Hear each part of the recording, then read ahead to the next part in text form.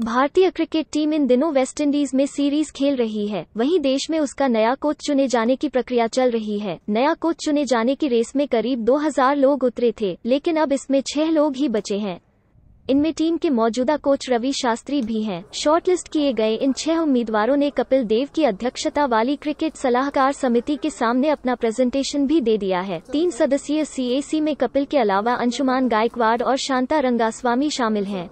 भारतीय cricket board BCCI के अधिकारी ने यह जानकारी दी। उसने बताया कि रवि शास्त्री समेत छह उम्मीदवार भारतीय टीम के मुख्य कोच की दौड़ में बने हुए हैं। इनमें तीन विदेशी और तीन भारत के उम्मीदवार हैं। विदेशी उम्मीदवारों में न्यूजीलैंड के पूर्व कोच माइक हेसन, ऑस्ट्रेलिया के टॉम मूडी वेस्टइंडीज के फिल शामिल हैं। भारत के लालचंद राजपूत, रवि शास्त्री और रॉबिन सिंह शामिल हैं।